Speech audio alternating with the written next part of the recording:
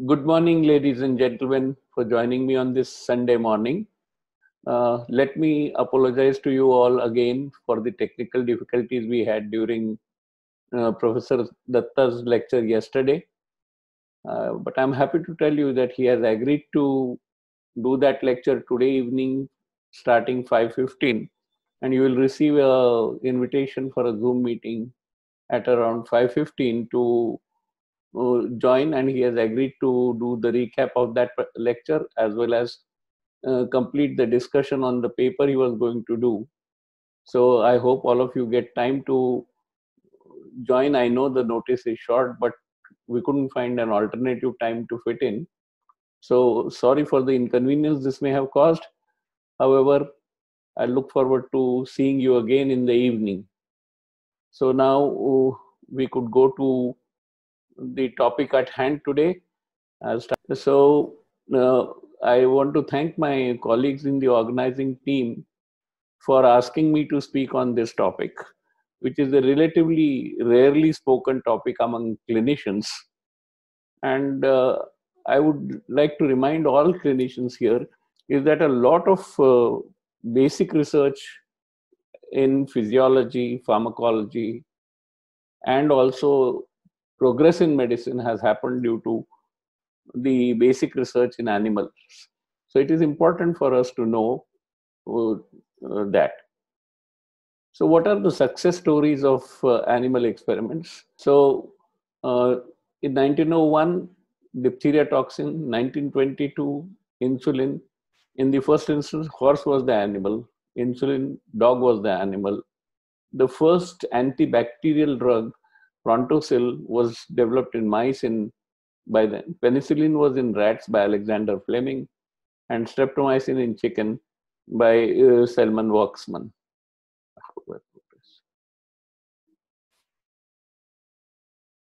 Yeah, I'll have to go here. Okay, fine. So there are several Nobel Prizes that have been awarded for animal research.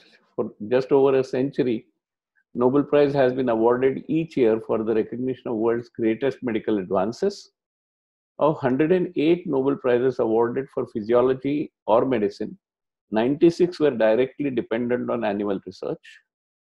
The very first Nobel Prize was awarded for physiology and medicine to Emil von Behring in 1901 for developing serum therapy against diphtheria. Now, this is an image from the History of Medicine, US National Library of Science. This is a full page illustration of Pasteur in his animal facility and was published in Harper's Weekly in the United States on 21st June 1884. At this time, there was moderate curiosity on Pasteur's work in US, which would intensify after his first successful human trials of a therapeutic vaccine for rabies in 1885. In the article, the reader is assured the use of dogs is both humane and justified in the interest of mankind. The use of other species, however, barely uh, mentioned also. And you can see how the animals are caged and the different postures that those dogs have uh, taken. Here's another uh, oil painting currently as a part of Welcome Gallery collection in London. Uh, a physiological demonstration of vivisection of a dog by this is by Mouchy in 1832 oil painting illustrates how French scholars used physiological experiments in service of scientific progress. Notice how struggling the animal looks and does not seem to affect the physiologist and his observers at all. So therefore, because on one side, animal experimentation led to such fantastic uh, progress in science, it also led to cruelty to animals and very bad, and scientists completely ignoring the animal welfare, which angered many people in the society. Also, when it was looked at as those experiments, particularly in India and some other developing countries, that animal experiments were very callously done and the science produced out of them was also not of a good quality and hence the law of animal protection came into being in 1960 prevention to cruelty of animal act was amended in 1982. 64, a committee for purpose of control and supervision of experiments on animals was formed.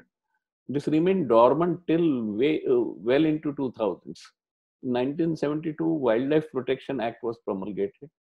In 1992, Indian National Science Academy Guidelines for Care and Use of Animals in Scientific Research, which was revised in 2001. And all these revisions were necessary because almost nothing was being done as per those guidelines. In 1998, breeding and ex- of and experiments on animals, control and supervision rules were uh, declared in 1998. Uh, they were amended in 2001 and 2006. ICMR guidelines for use of laboratory animals in medical colleges was given in 2001. MCI amended recommended use of alternatives to replace animal experiments in 2009. Ministry of Health bans use of animals in educational institutes. And University Grants Commission guidelines for discontinuation of this dissection and animal experimentation in zoology and life sciences in phased banner came in 2012. What this led to was that most of the times, on one side, people thought that science is hampered because of so much regulation. On the other side, the animal lovers said that you guys did anyway bad science and the animals were very badly treated. So the present regulator is the Committee for the Purpose of Control and Supervision of Experiments in Animals, CPC-SEA.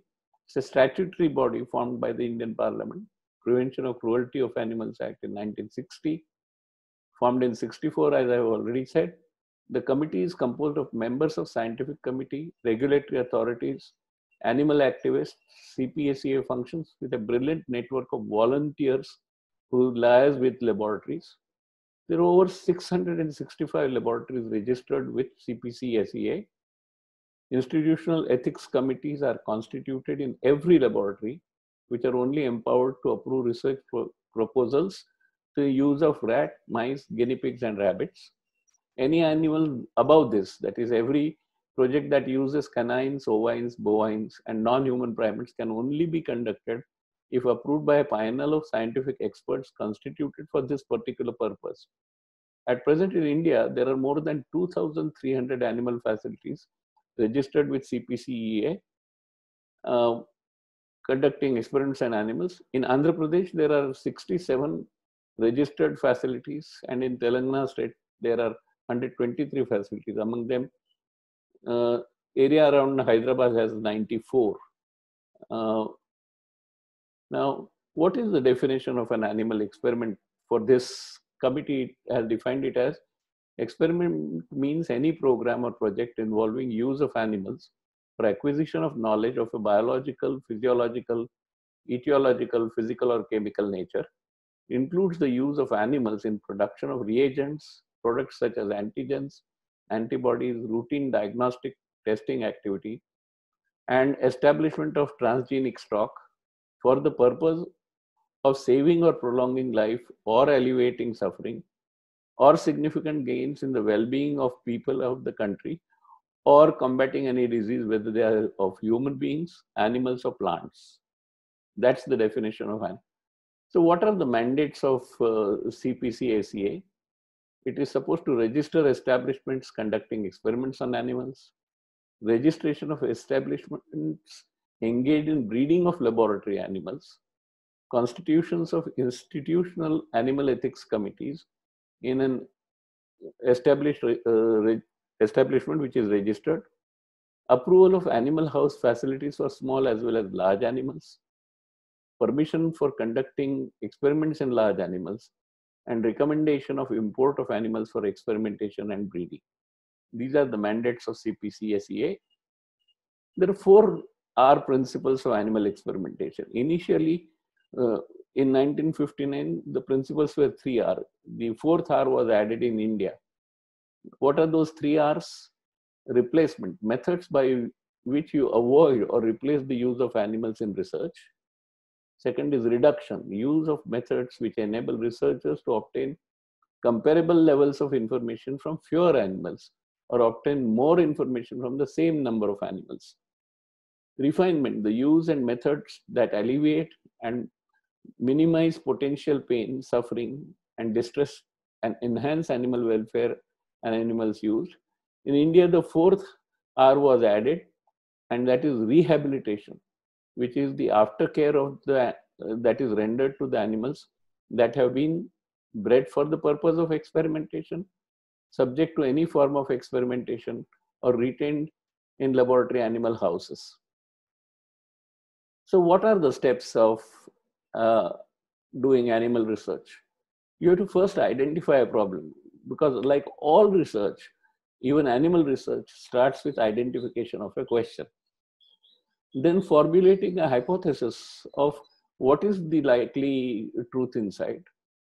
Then you should do a collaboration or prior training to perform animal experimentation is essential. You can't just start doing it without adequate training.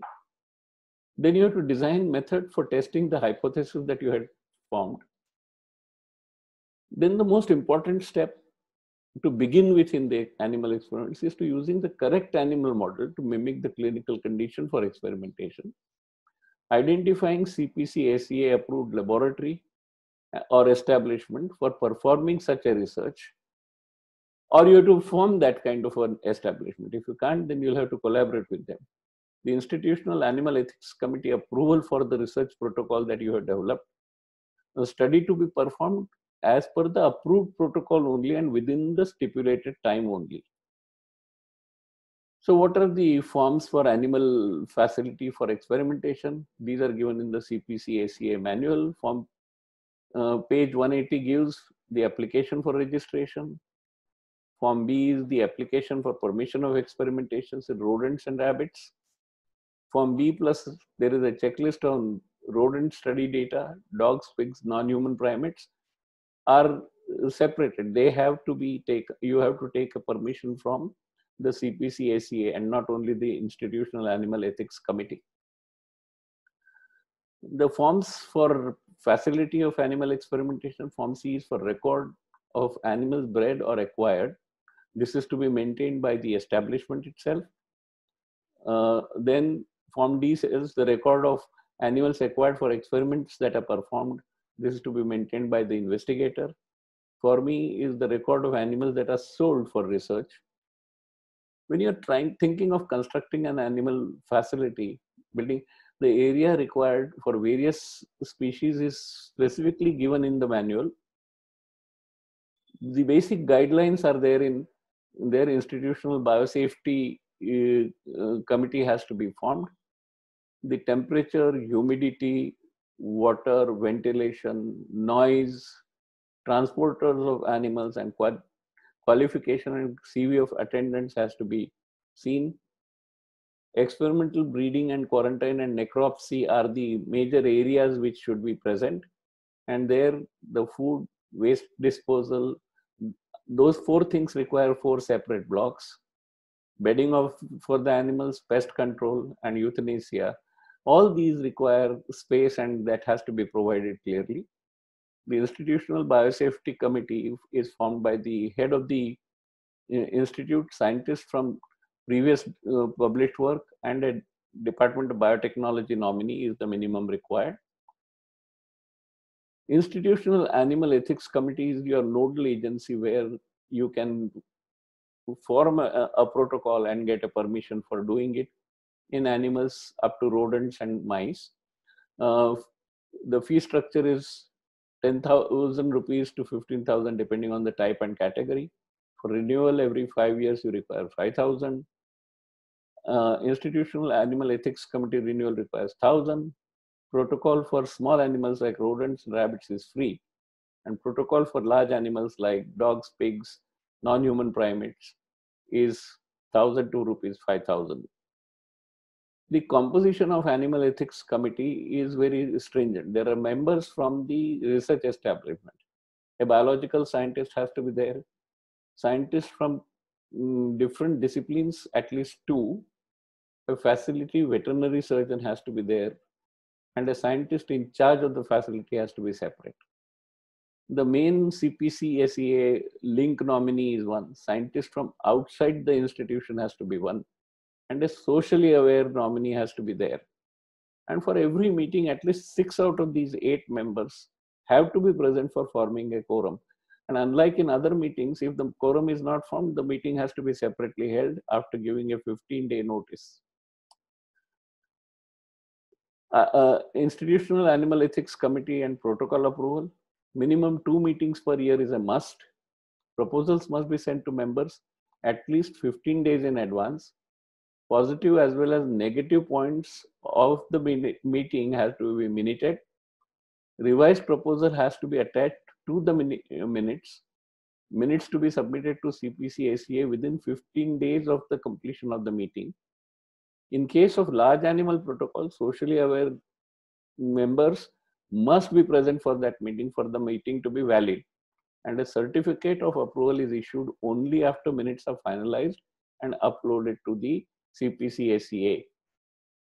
Inspections at the facility of experimentation. The checklist for inspection facility is available. Inspection report of animal house facility has to be filled by the CPC ACA nominee annual inspection and facility is to be filled by the nominee and the inspection authority. And the report of annual inspection of the facility is to be filled by the nominee and the inspection authority of the CPCACA. Animal statement of large animal use, this has to be filled by the veterinary surgeon. Midterm inspection of large animal research protocols is to be filled by the nominee rehabilitation of large animals to be filled by chairman of the facility of the institute, import of transgenic animals to be filled by chairman of the institutes. What are the alternatives now? If you didn't do animal work, what is your alternative for uh, doing? Because you want to reduce the animal experiments. So you can use either organ cultures, tissue slices, primary cell cultures, established cell lines and stem cells in place of so these are all in vitro models that cultured cells have been developed to create monoclonal antibodies uh, you all know all this uh, one of the things that we use in neph uh, in nephrology and dialysis is the litmus amoebocyte lysate assay the whole human blood pyrogen test has been replaced by which have replaced the rabbit pyrogen test which used to be done in the past now there are other alternatives are in silico models. The in silico method use models of diabetes, asthma, and drug absorption, where the potential new drug is identified using these techniques require verification in animal and human tests before licensing. However, what it does is on a silicon chip, um, the or, organ cells are put and microchannels then look at the outcomes. Uh, quantitative structure activity relationship models are also used. These are mechanistic models that aim to predict sensitization of mechanistic knowledge and empirical models that are aimed at predicting statistical perspective. Several quantitative structure activity relationship systems are available. These are some of the names that I found. I have personally not had any idea or any experience on using these. So alternatives to uh, animals from 1980 to 2015 is a publication from the Indian Journal of Medical Research. In 1880s, uh, purified enzyme subcellular fractions were used for phenotypic characterization. 90s, 2D cell and tissue recombinant enzymes to understand mechanism pathways. 3D cells and tissues on silicon chips, and now in 2000, people use microfluidics on the um, silicon chip and measure the clinically relevant effect.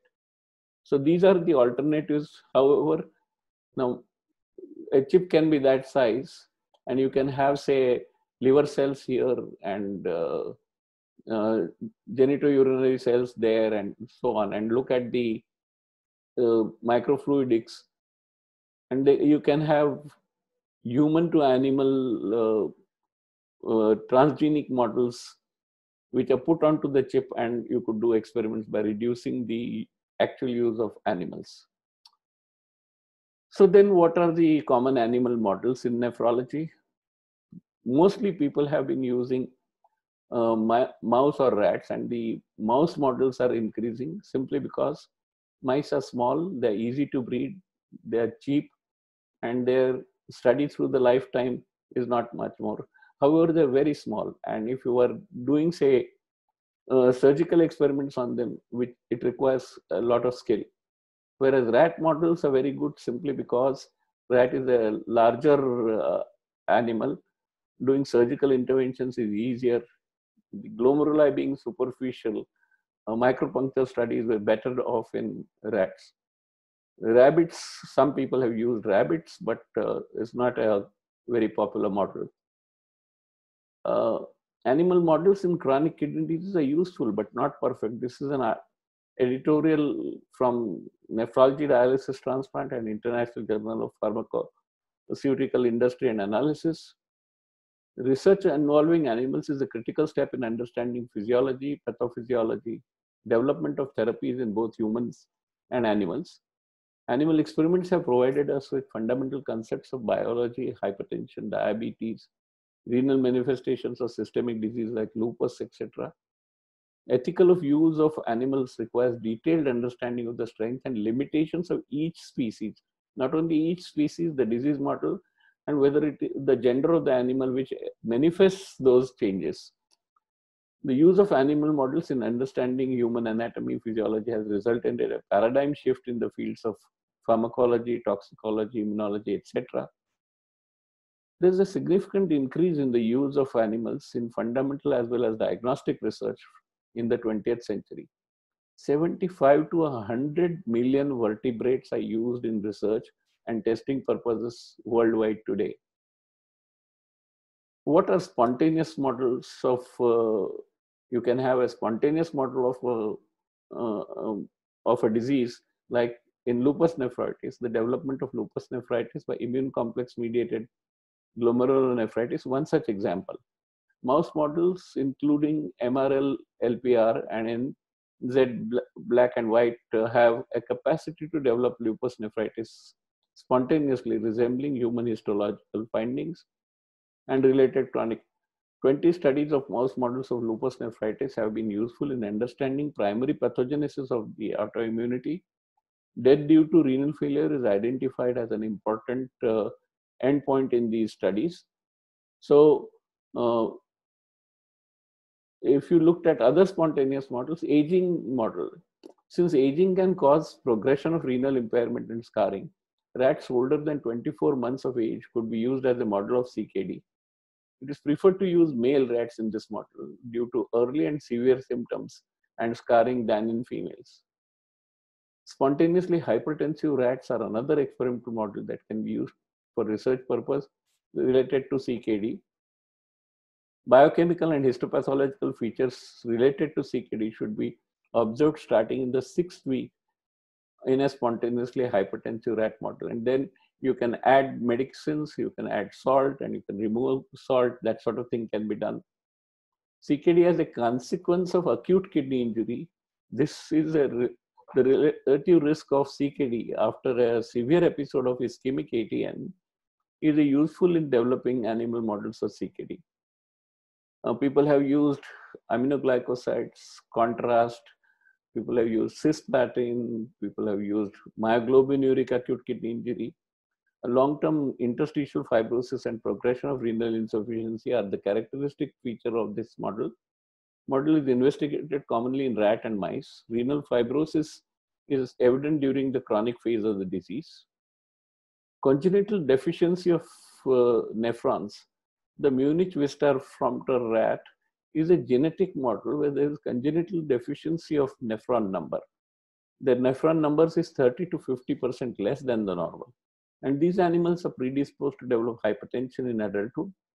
They develop proteinuria at the age of 10 weeks and exhibit significant glomerulosclerosis by nine months.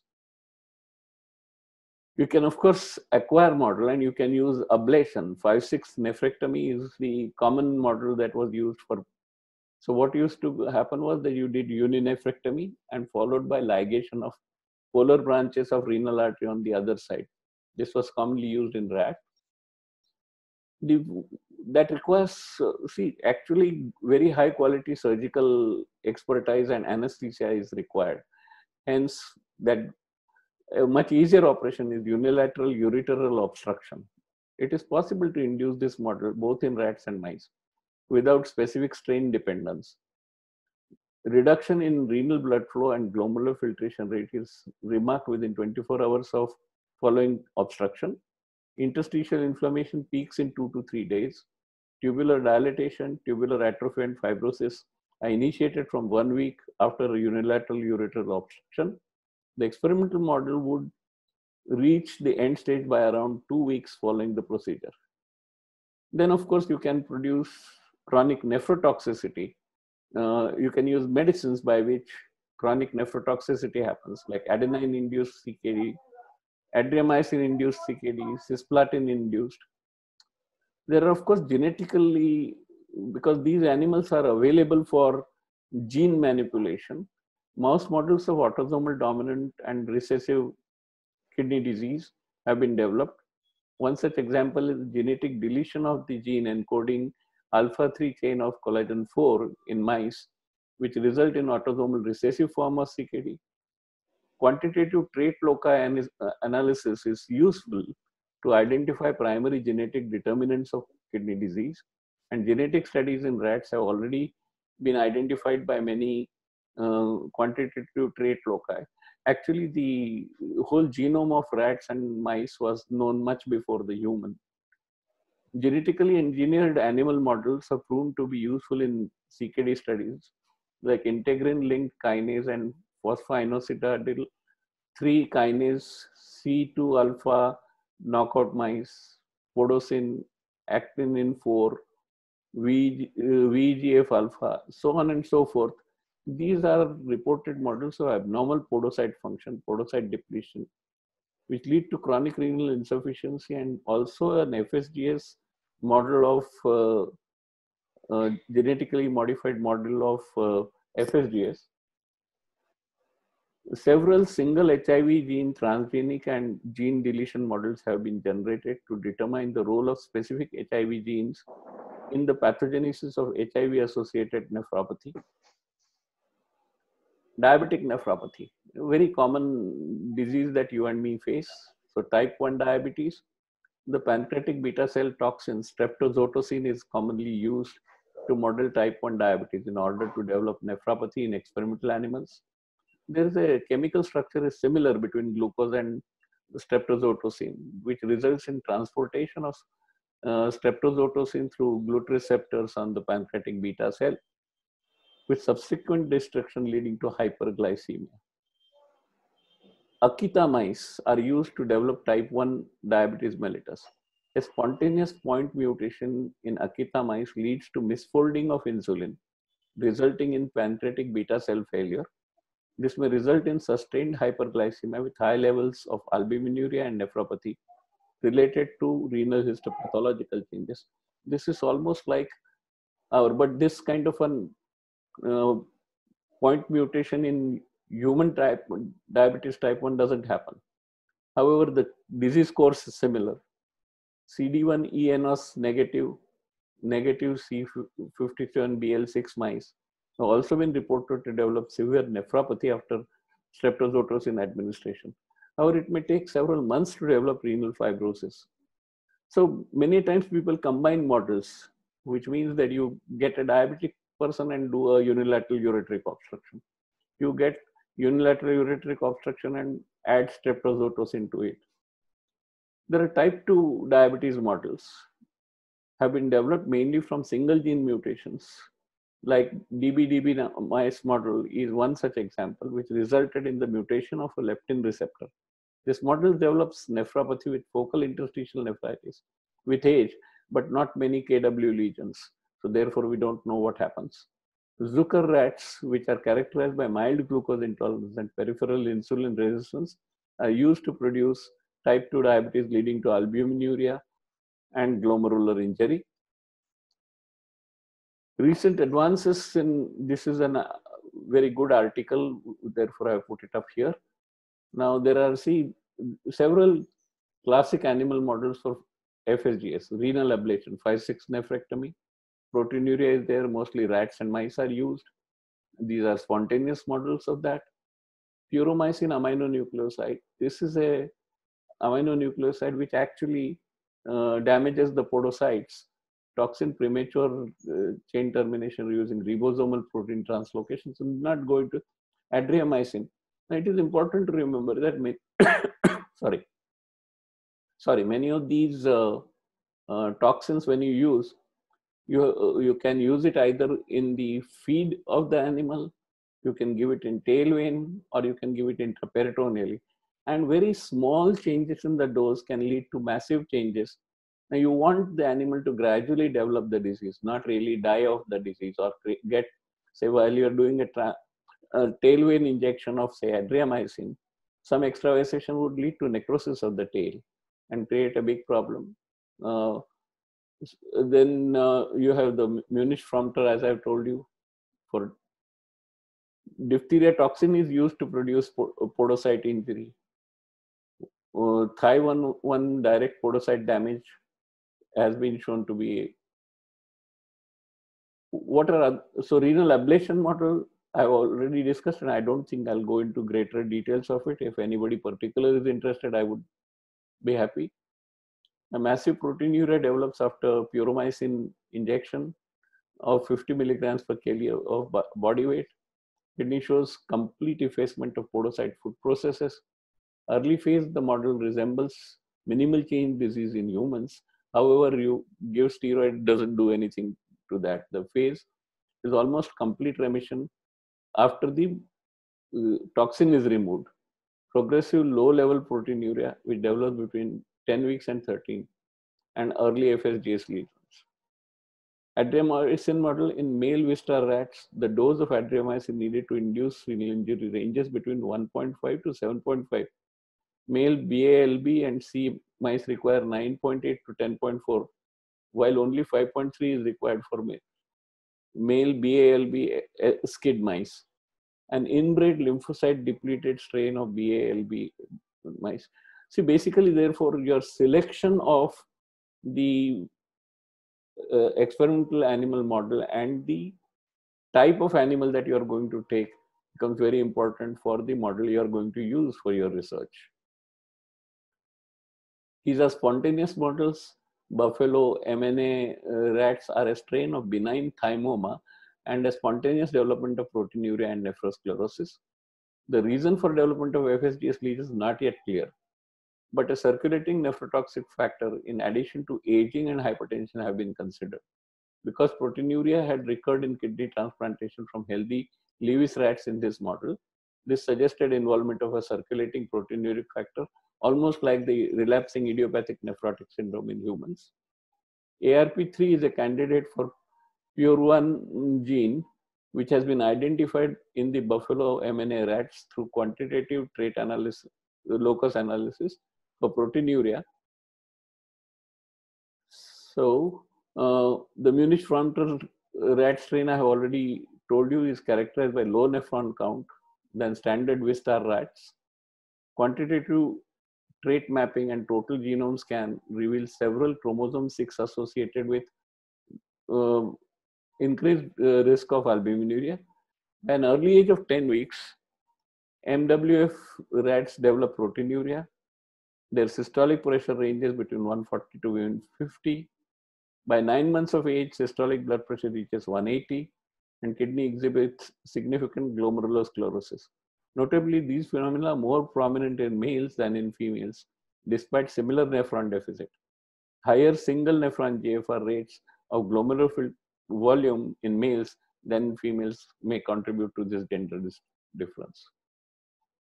NEP25 mouse model is a model exclusively targeting podocyte, a transgenic mouse strain that expresses human CD25 selectively in podocytes has been generated. Injection of anti-TAC FVP38, an immunotoxin with specific binding to human CD25 induces progressive non-selective proteinuria, ascites, edema in NP, NEP25 mice. Podocytes in these mice show food process effacement, vacuolar degeneration, detachment, and downregulation of synaptopodin, WT1, nephrin, and podocalcin. Diphtheria toxin model, HIV nephropathy model. HIV and transgenic mouse model was created using replication deficient version of HIV as the integrated transgene called transgenic 26 proteinuria was first observed at 24 days of age. Around 20% of the mice died between two and six months. Uh, I wouldn't go on to uh, describing each model in detail, and there are Thai11 transgenic mouse models, and there are several others are coming up in literature, depending on what is my experience of doing animal experiments in my lab. We initially looked at dog as the uh, as the animal which was easily available to us because of my relationship with the College of Veterinary Science as the uh, Professor uh, Patil there, the chief of surgery was my patient. So it was easy for me and we published this to see whether carbon dioxide is a self uh, good alternative for uh, IV contrast for doing digital subtraction angiography and uh, because uh, we were not going to actually produce renal injury.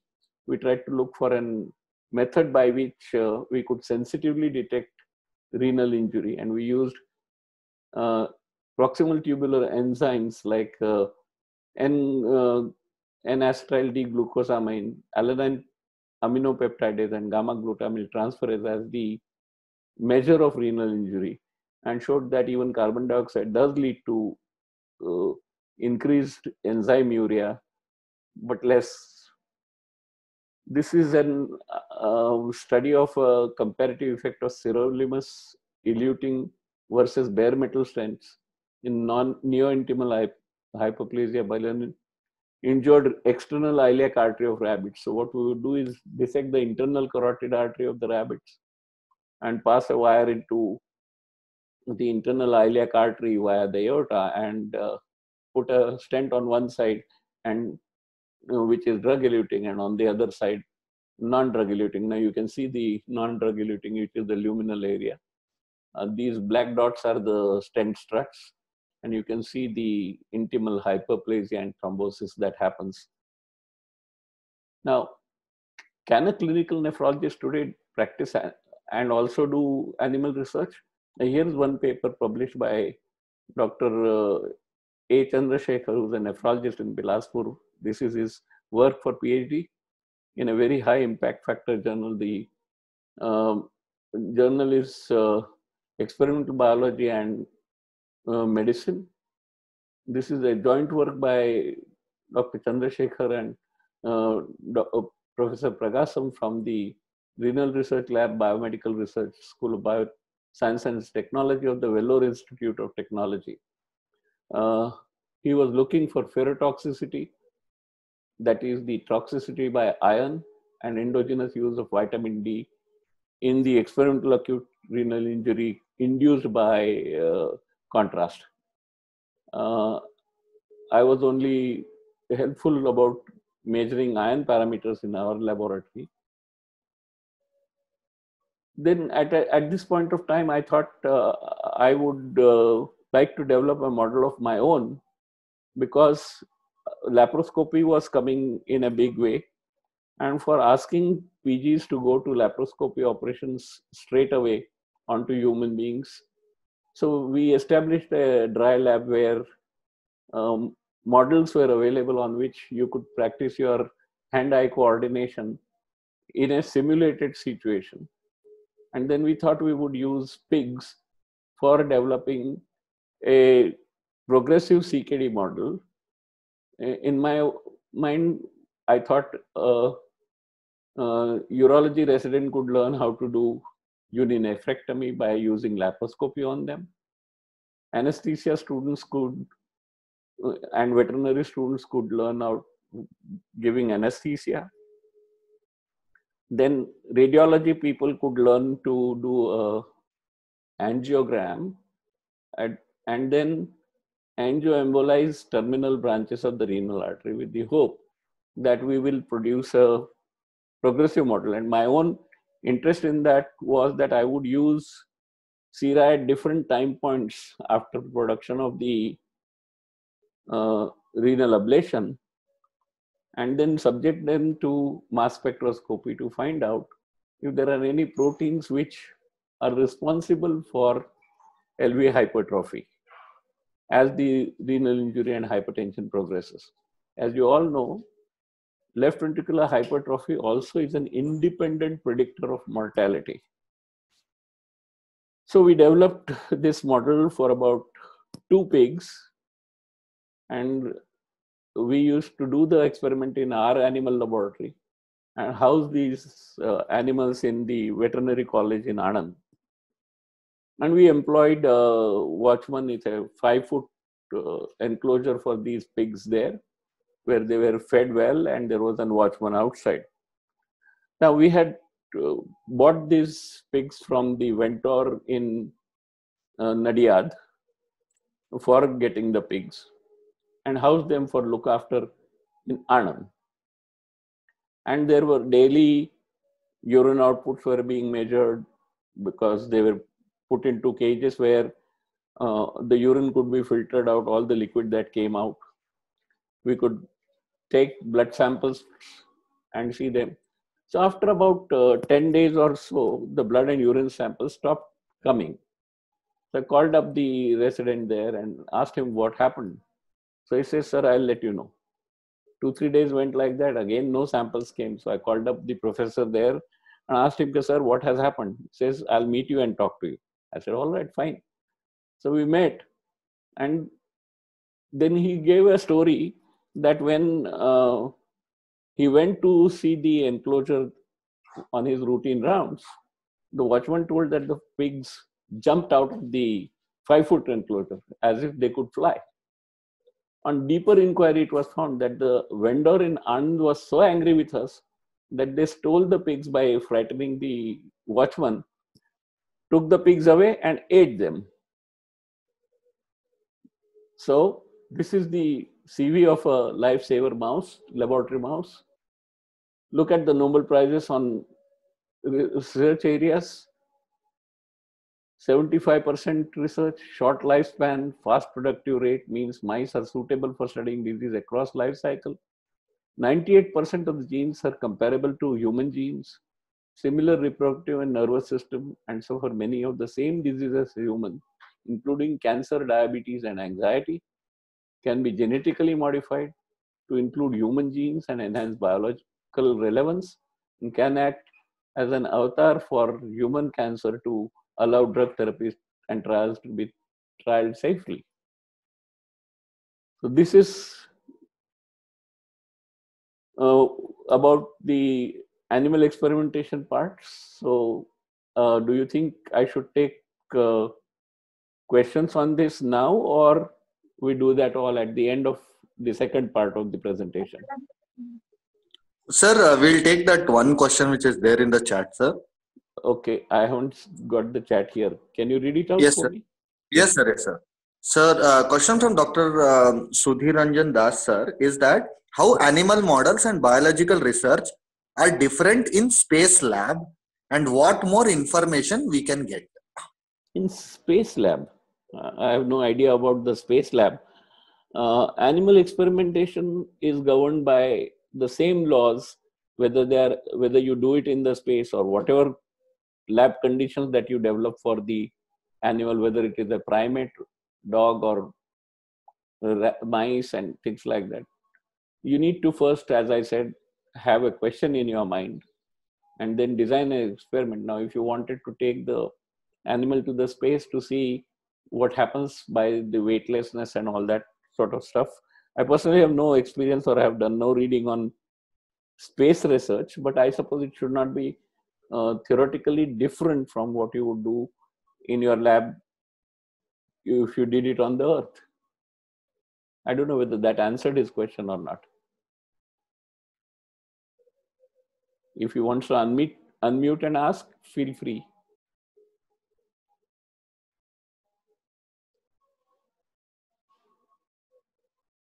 So if there are no new questions, shall I go further here or there is one more question, sir. Yes, yes.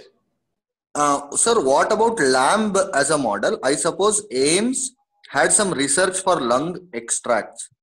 Are you aware? Uh, Dr. Uh, Thapar is asking. Uh, yeah, people have used lamb, sheep uh, in, and but that's not common. And today in India, doing a research on lamb or sheep, you can cut them and eat them up. But doing research, you have to go through all this process. I, am specifically not aware of the lung research. No. Um, okay, sir. I think uh, that's it for the questions on the animal part. But we can move ahead with the next part. Okay. So the next part of it is the process and need for patenting research. Now, what is the need for a patent? See, patent is something which you do for the commerce part of the science. If you have developed something, you must get returns of it in terms of actual money. But so often by pure scientists and purists, patenting is regarded as a greed. Uh, to my mind, uh, that may be only partly correct because I do believe that if you don't have a patent, no commercial organization will have the ability to market and take the invention to the patient who needs it. Now, a researcher, supposing if I were to develop an instrument tomorrow, and uh, that instrument I think should go to a large number of people, then I won't have the uh, capability of distribution and marketing it. Therefore, I will have to deal it with. So either I let all the profits go to that middleman, or part of it should come to me. So without this, uh, without a patent, the in, intent, invention will not reach the patient. Also, when you are doing research, you are going to take unless uh, it is not generally a great idea that you spend your own money. You spend it from a philanthropic organization or people who financially support your research. They do it because they want a return on investment. So therefore also patent is required. The credit and financial benefit to the researcher or the innovator, I think is a just thing to have. So that is the need for patenting your research. There has been a paradigm shift. When I was uh, studying and at say Aniket's level of just getting into uh, the field, we were told publish or perish. You must publish, otherwise you you have no scope in the academic world. The paradigm has shifted. It says perish if you publish before you patent your uh, invention or technology. So you publish, but only after you have patented it. So what is a patent then? A patent is a right granted to an inventor by the federal government, whichever country it may be, that permits the inventor to exclude others from making, selling, or using the invention for a period of time. Usually, that is about 10 years. The patent system is designed to encourage inventions that are unique and useful for the society. The Congress was given a power to grant patents in the Constitution and federal statute and rules that govern the patent. The US Patent and Trademark Office grants patents for inventions that meets statutory criteria. The following provides uh, a general overview of the patents is what that article said. Uh, see, the patents are slightly different from trademarks. Like for example, you if you drink a cola of any company, it's not a patent of making cola or it's not a patent of making coffee or tea but a particular tea or coffee has a slightly different flavor and there would be takers of that. Uh, whereas so that is a trademark. Now that is also another protection for uh, people. So patent is different and a trademark is different. So there are three types of patents. One is a utility patent. The most common type of patent which is granted to new mechanics chemicals and processes in India, processors are not uh, granted patents, or at least they were not till about five, six years ago. Design patents are granted to the unique appearance of a design of manufactured objects, such as a surface ornamentation or overall design of the object. And plant patents are granted for the invention of asexual reproduction of new, distinct plant varieties, including hybrids. these are the three types of patents in US and Europe. History of patenting in India has been 1856, the Act 6 of 1856 on protection of inventions based on British patent law 1852 was promulgated here also. Exclusive privileges were granted to inventors and new manufacturers for a period of 14 years. 1859, the act was modified as Act 15 patent monopolies called exclusive privileges, making, selling, using inventions in India and authorized others to do so for 14 years from the date of filing specification. In 1872, the Patents and Design Protection Act came. 1883, Protection of Inventions Act came. 88, consolidated as the Inventions and Designs Act. In 1911, the Indian Patents and Designs Act came. 1999, 26 March 1999 Patents Amendment Act came into force from 1st January 95. 2002 Patents Amendments Act came into force from May 2003. And 2005, the Patents Amendment Act is effective from 2005. What is the patent process? First is you have to determine the type of intellectual protection uh, protection that your property needs. It's an intellectual property, whatever is your invention, your new idea, it's you need to protect it. Like if you bought a land, you need to protect it by getting a land deed or a purchase deed for the land. So it, it becomes your property uh, and you guard it because it's your house and nobody else is supposed to live there without your permission or having given compensation to you for staying there. Same way, this is your property is intellectual and that is registered with the government wherever this uh, particular patent is in force. So if you get do some new research or if you have got a very good idea that whatever you're trying to say is completely novel, it's not something which anybody else has done, then you to patent it and you first determine whether your invention is patentable at all or not. And there are experts available for that. Then you decide what kind of a patent do you need. Now, if after this, if you think your invention is not something which uh, people common uh, knowledge in that field uh, will be able to do then you say that okay i should get ready to apply to the proper authorities to getting a patent as a, as indians you must first apply to the indian patents and then you can be allowed to appear for uh, i mean patent outside the country then you have to prepare to submit your initial application requires a uh, you can do it yourself, but it's a good idea to have a patent attorney who's working on your side. Work with your examiner. So when you submit an application, you will be assigned an examiner who will examine your proposal, whether it's really true or not. And then you will receive your approval. And then you have to maintain that patent by pay, paying maintenance fees to the government uh, wherever you want it to be maintained. So what are the practical uh, aspects of your patent process? Search if your invention really is novel or not, or have you reinvented what was already known? So something was already known, then you cannot be granted that as a independent right. Now today you can't say that I'm going to patent creatinine. Um, identify a patent attorney first. Uh, again, it depends on which country are you going to you want your patent to be after all if you take a patent you want it to be marketed so you need to know where is it likely to sell most and that is where after you identify the attorney the attorney and there are organizations which specifically do prior art search which means that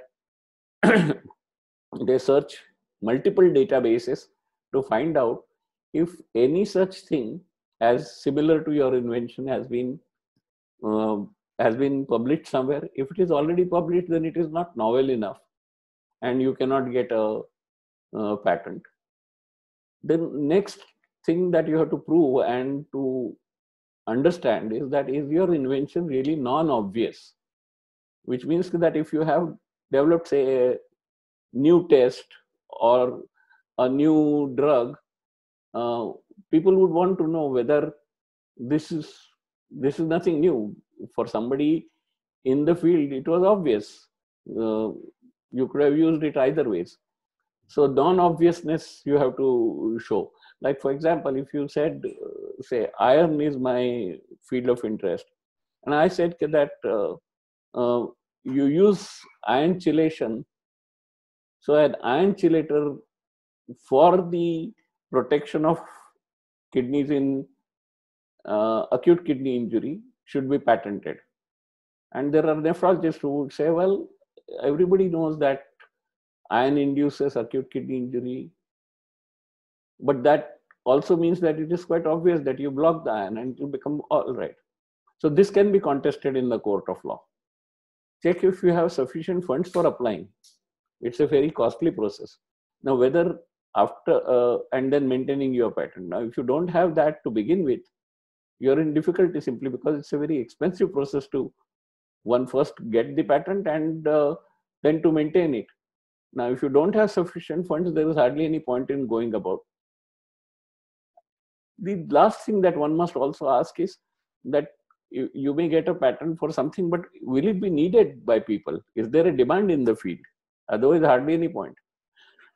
the attorneys and the patent office will always make money. Whether the inventor makes it or not is a second story. What was the story of my patent?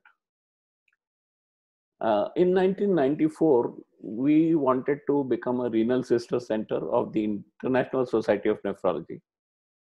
And I talked to a few friends uh, in uh, outside the country in Europe, Britain and others to say whether they will allow, ask to be willing to work with us as renal sister center but my friends uh, had already booked or some reason they refused so at that time the um, tom andreoli was the uh, editor of the ki so out of frustration i wrote to him saying that uh, i haven't found anybody who will be willing to be sister center with me and he said, I have a colleague of mine who is the chief of the Department of Nephrology at Arkansas, uh, Little Rock, Arkansas, who is an Indian and would be willing. And that is how my friendship with Dr. Sudhir Shah uh, happened in 1996. And it turned out that uh, Dr. Sudhir Shah, who did his MBBS from Grant Medical Mumbai and has been out of the country since then, was the chairman of the uh, Department of Nephrology at uh, Little Rock, Arkansas, and had already published several articles on uh, free iron and its acti- production of reactive oxygen metabolites, uh, and shown its role in kidney damage, minimal change disease, hematonephritis, puromycin-induced. So in experimental glomerular disease, he had already published a lot, and he wanted to do animal studies and that was his research in uh, that was his intention in trying to help me develop a research relationship with him the idea of working at that time between him and me was that we will work on ion chelation and preventing contrast induced nephropathy and we designed a study called precinct study where we were going to use uh, in a rct mode deferriprone, which is a oral ion chelator, which is approved for treatment of iron overloaded states like thalassemia, for preventing contrast-induced AKI in patients undergoing percutaneous coronary intervention. However, on the day on which the first patient was going to be recruited, the sponsors withdrew from the uh, study. So we were left high and dry. And the precinct study though registered with the FDA CTRI, never took off. Uh, then in 98 onwards, we in our lab started to establishing the catalytic ion assay. See, very small amount of iron, very minuscule amount of iron is capable of catalyzing a reaction from hydrogen peroxide to uh, hydroxyl radicals and that happens in biological systems all the time and the reversibility of the iron valency from FET2 to Fe3, which are the most common ones. Actually, it can be from Fe1 to Fe6 in chemistry, but in biological systems, Fe2 and Fe3 are the most common ones. So we wanted to measure the catalytic ion, that is that free amount of ion. Because it produces such severe oxidant storm, catalytic ion can damage a lot of tissues. That's why bi uh, biologically, iron in both plant kingdom as well as animal kingdom is quite ubiquitous and is an important part in the oxygen and energy chain of the cell. Uh, it probably is also important because Earth's crust has that as the most common transitional metal. So during development, that got incorporated into the transfer of oxygen to the cells and then to the remote place. So in 2000, me and Sudhir Shah were discussing about catalytic and what do we do. Assay was established. Then we said that maybe this would be useful in atherosclerosis too. So therefore, we started looking for it in the heart disease. Now, what is catalytic iron? Fenton first observed in 84 that simple mixture of hydrogen peroxide and iron Fe2 produces hydroxyl radical. You can go through these from several publications.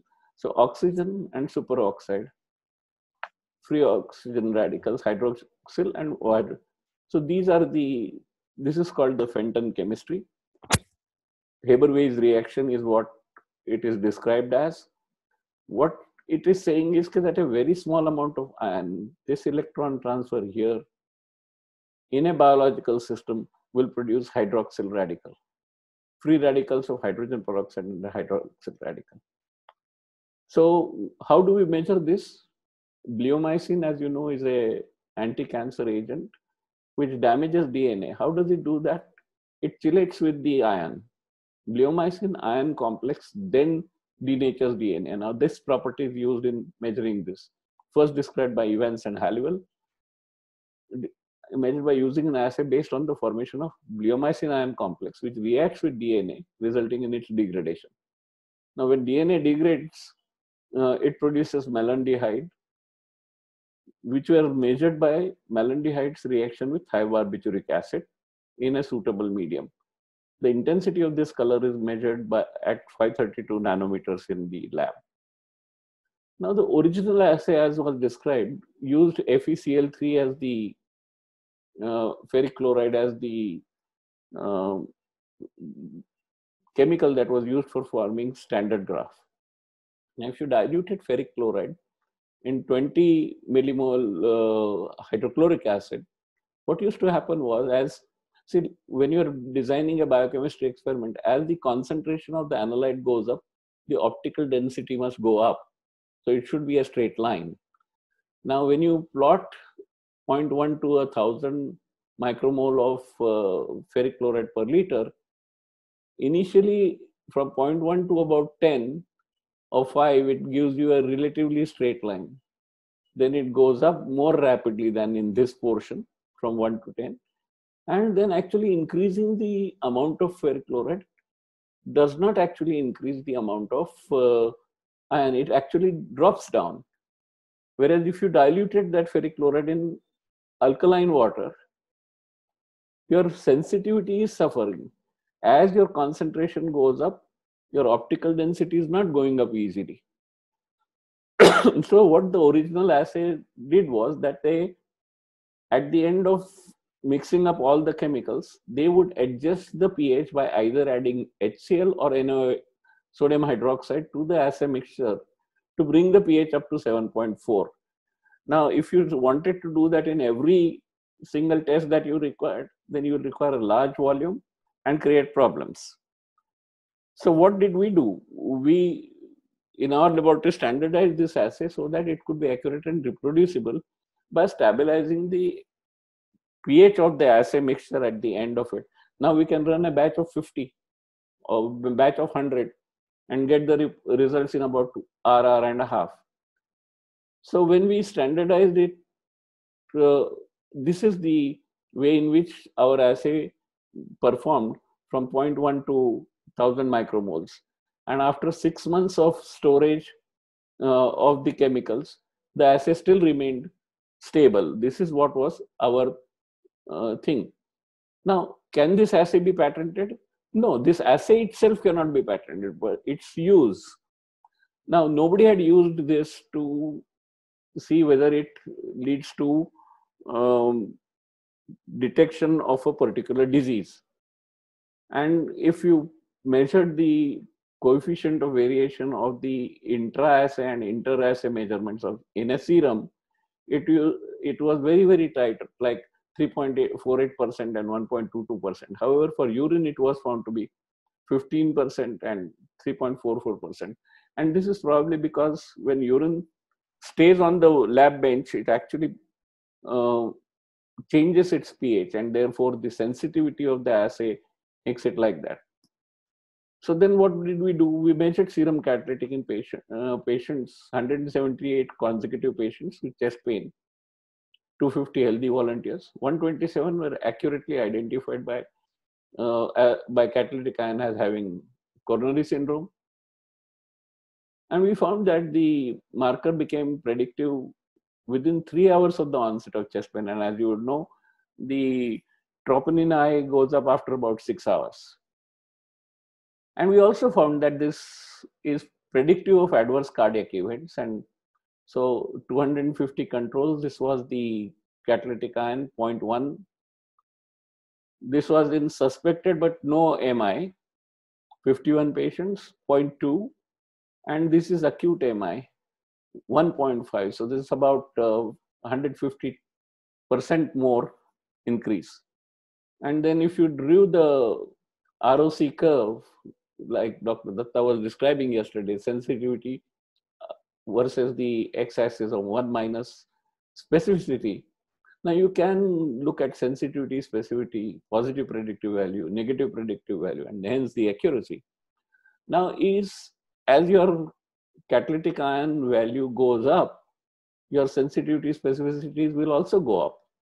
So if you put a cutoff of 0.3 micromoles per liter, you got a sensitivity of 84% with a CI of 81 to 88, specificity of 95%, 93 to 97, 87% positive predictive value and 93 negative predictive value with an accuracy of about 92%.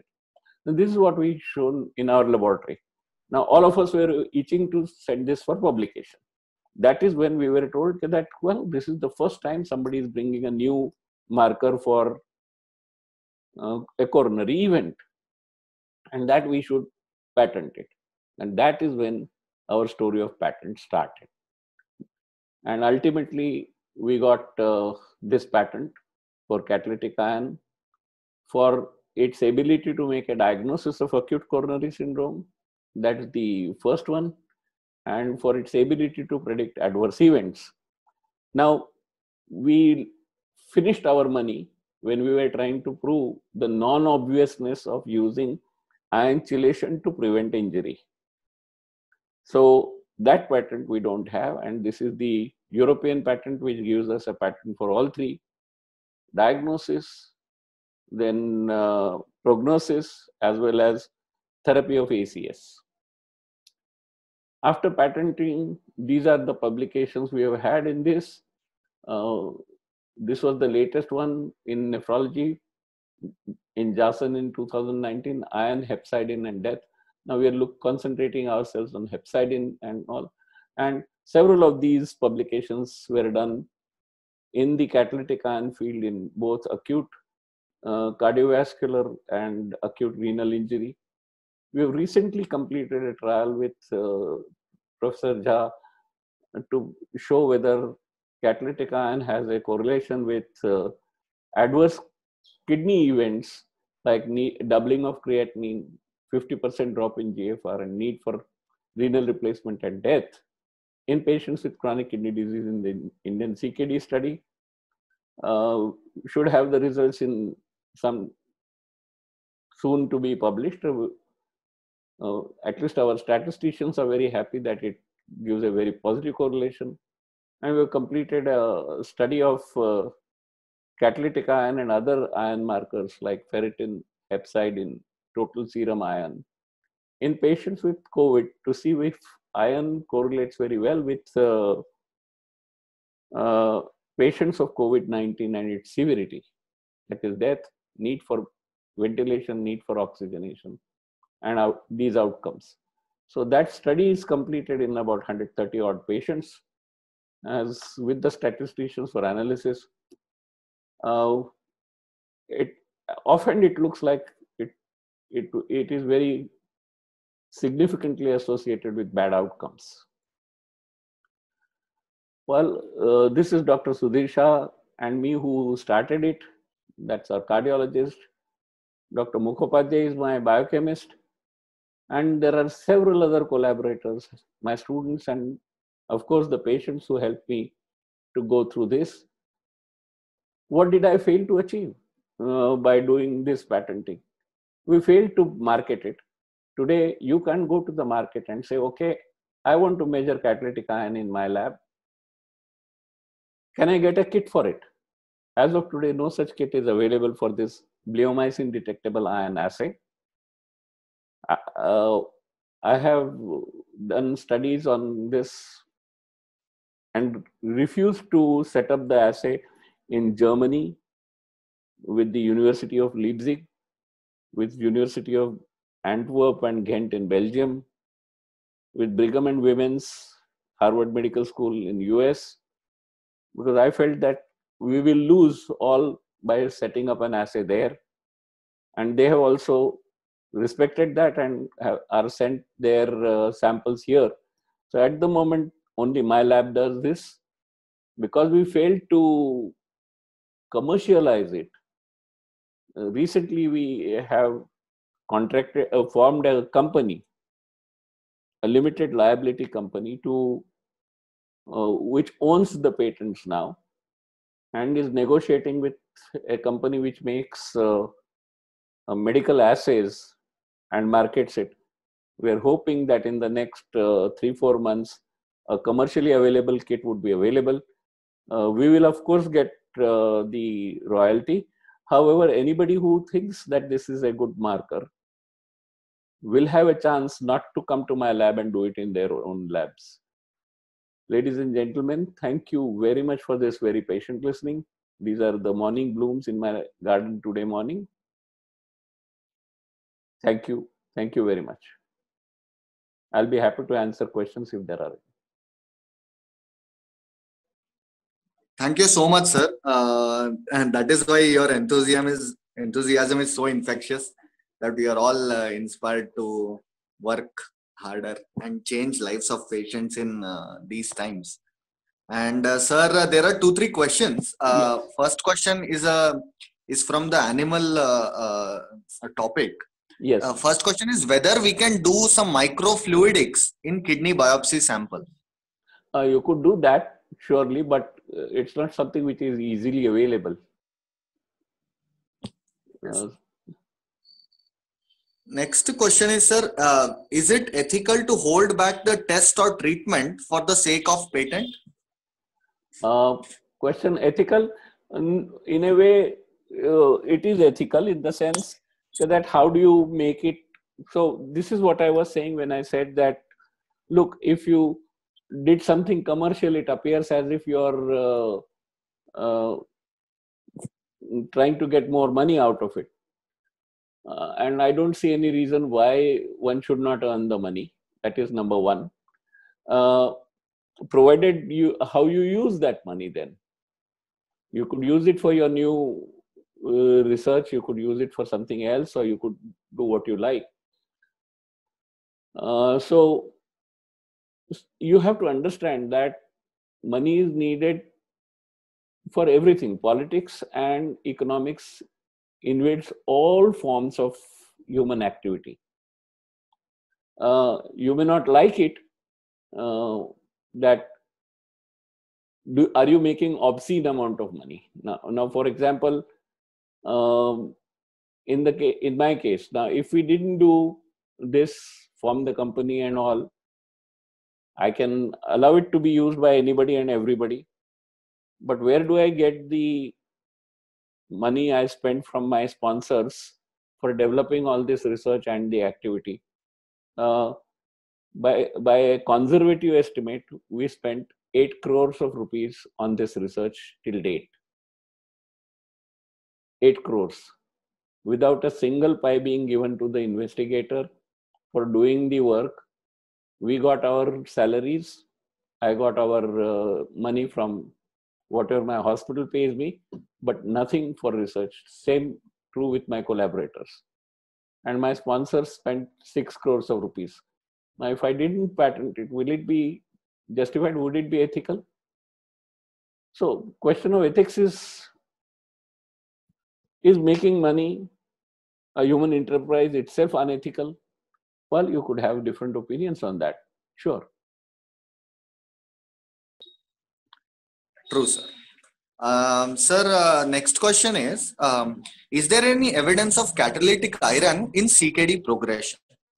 Well, that is what, just wait for the publication. We have got samples from uh, the Indian CKD study, which we analyzed for hepcidin and catalytic iron.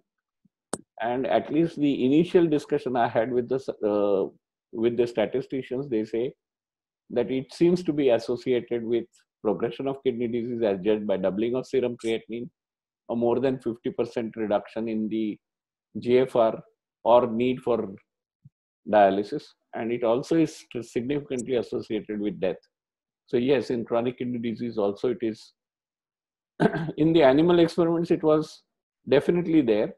But now we know that uh, in the Indian CKD study, at least in that cohort, uh, when we did a sub study of the biomarker catalytic iron and hepcidin. Hepcidin is another very interesting molecule. Uh, I don't think we have time today for that, but hepcidin will tell you uh, where, because it goes up with inflammation and it goes up with hypoxia, as well as whenever the iron increases, hepcidin protects you from iron damage. So therefore, hepcidin prevents iron from being absorbed and hepcidin also prevents release of iron from macrophages at the site of injury. So hepcidin is that way a protective molecule. Hepcidin itself has antiviral properties as well. And people have actually used anti, I mean, hepcidin analogs for treatment of uh, adenovirus diseases in animals. So we also wanted to find out what happens to hepcidin but hepcidin in different uh, things give completely different. In my acute kidney injury paper, we found that hepcidin is protective. As you have low hepcidin, then your chances of dying of acute kidney injury or needing uh, is higher than those who had high hepcidin. Exactly opposite to that. However, when we looked for hepcidin in the shock to IABP studies, see there these were cardiogenic shock patients who were on intra-aortic balloon pump.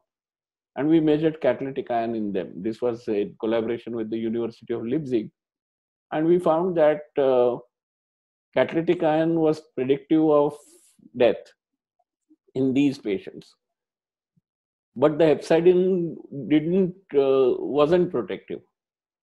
Whereas in the acute kidney injury, so we don't know what is the component of uh, hepcidin that is going up only because of iron and what is the component of hepcidin which is going up because of hypoxia or component of hepcidin which is going up because of inflammation because we did not look for it at the time of the design of the study. Sir, uh, next question is um, yes. Should we plan for patenting since the beginning of the study and keep hold of publications? At the same time, should we also try making kits since the beginning of the study? Well, uh, uh, in the retrospect, I would say yes to all that questions. But uh, I think first thing to do is to de first design a study, a good study, number one now, whatever it may be, it may be a marker, a diagnostic test, it may be an instrument, for example. Say, supposing tomorrow, uh, uh, once upon a time, I had designed my own angioplasty syringe and my own injector for doing angiography because the Siemens injector was beyond my capacity to buy. And I, as you know, I've been doing interventions in nephrology, but I never patented those. I actually have a a spring loaded device which is made of stainless steel and some of my previous residents used it. Nowadays everybody buys these biopty guns. Uh, in those days what i did was to take a make the biopty gun where any true cut needle would get, uh, fit. Whether you didn't have to buy it from bard you didn't have to buy it from any particular vendor. And it was a spring loaded device held in the hand but i never patented it so now of course things have changed and i was i'm not not anymore interested in doing uh, in those days i had difficulty in getting uh, buying a camera for the microscope the camera system for microscope for teaching histology to some of my older students they might remember that i made a, a connection between the microscope's lens to my own uh, home camera through which we could take pictures and show it so that device was actually copied later on by Storz. I made a peristaltic pump for ureteroscopy once upon a time. Uh, actually, the Storz pump today is a modification of mine. I never patented it. A Storz, of course, makes money on that pump for doing ureteroscopy all over the world. So I'm not saying that uh, I'm a much, much better person for that or a much worse person because now I patented my things. But if I had patented and made that money on the ureteroscopy pump, I could have used it for my uh, research today. Today I've got to go with a begging bowl for the money to do research. So therefore, I think uh, there are, the goodness or ethics are in the minds of the person who uses it, and it is time and place specific. As I said, you can cut a sheep and eat it, but can't experiment on it. You can cut any number of pigs, sell it, cut cows and sell beef and all. They don't require all this experimentation requirement. You can go and hunt in the American forests and in the European forests, but you can't use that for experimental animal. So therefore, I think ethics, morality is in one's own mind and depends on how you use it rather than uh, and they are also time and place specific. Uh, you kill a opposing soldier you're mar- uh, if you uh, if you kill somebody next door to you because you're that's murder. So there is a big difference there. I think i have answered that question. Yeah yes sir. Yes sir um, sir the next question is does the catalytic iron rise after giving IV iron? Uh, yes. Dr. Hegde has already answered it, but sir, from your, uh, I mean, your yes, the horse has to neigh. Okay, so one of my residents did that study and showed we measured the uh, area under the curve of catalytic iron after IV iron injections, and it we showed that dose dependent release of catalytic iron happens even after iron sucrose injections. But you see, body has a defense mechanism. It chelates iron wherever it is free. So actually you are injecting an iron chelate when you inject iron sucrose or iron maltose or whichever one. Otherwise, ferric chloride is a very cheap chemical. You could have sterilized it, put it in distilled water and inject it. But you would have killed your patient simply because of the patient would have combusted due to oxygen everywhere. Therefore, they are making complexes by which the iron itself remains inside. But it's not 100% chelated. Something gets released, but it's picked up by transferrin in the circulation and then stored as ferritin into the storage areas. So, in a dose dependent manner, a release of catalytic iron does happen, and the uh, peak is around 24 weeks, and it comes back to the baseline at 96 hours. 24 weeks i said 24 hours not 24 weeks. 24 hours and comes to the baseline at 96 hours. And uh, therefore i do believe that uh, mm, people who want to use suddenly 500 milligrams of iron i'm a bit scared. I, I don't use it. Uh, the first iron reaction i saw was during my first medicine term as an MBBS student. At that time, Jectofer was the injection that had come. And a one gram dose was supposed to be given to pregnant women for, uh, for correcting their anemia. I've seen a lady getting acute uh, um, hepatic failure following Jectofer and seen that lady dying. I still am very scared of using IV iron unless it is absolutely essential in a very small dose. So I generally don't go as a person more than 100 milligrams twice a week. If a person has withstood his anemia for so long, another month, month and a half is not really going to matter. It's a question of how you explain it to them. Now, in our enthusiasm and what the company says giving 500 or 1 gram dose, we get away with it most of the times. I'm not saying no, uh, but I, I'm personally scared.